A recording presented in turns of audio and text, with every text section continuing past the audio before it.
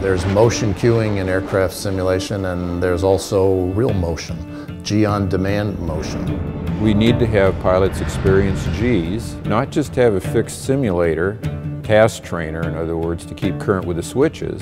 1G, they're sitting still. And so there is no stress, there is no high performance. A simulator like ATFS 400 turns the flight simulation world into as near as real as possible.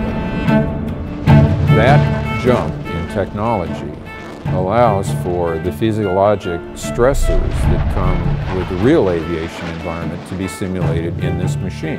That's not been possible in the past. Approaching the edges of the maneuvering envelope with G on the airplane or on the simulator is very important in building your understanding for the maneuvering envelope and in building your confidence that you can get to the edge of the envelope without exceeding it and departing the airplane. I mean, it can be frightening, but pilots generally, you know, learn how to master fears by confident behavior in the aircraft.